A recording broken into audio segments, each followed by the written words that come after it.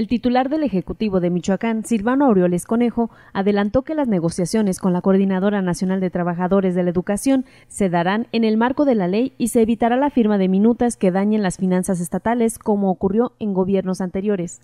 Está ya instalada o se instalará esta semana una mesa de trabajo con la nueva dirigencia, eh, la Secretaría de Educación y Secretaría de Gobierno para darle seguimiento a los temas eh, diversos que trae el sindicato de maestros, el gobierno no puede firmar ni minutas ni convenios con una organización sindical que no tiene, eh, que no está legalmente reconocido, o sea, que, no tiene la titularidad del gremio. Entonces, es parte de las cosas que también se tienen que revisar. Lo que queremos es una negociación dentro de la legalidad, este, con transparencia, con claridad y apegado a las reglas eh, tanto del gobierno como las reglas del sindicato.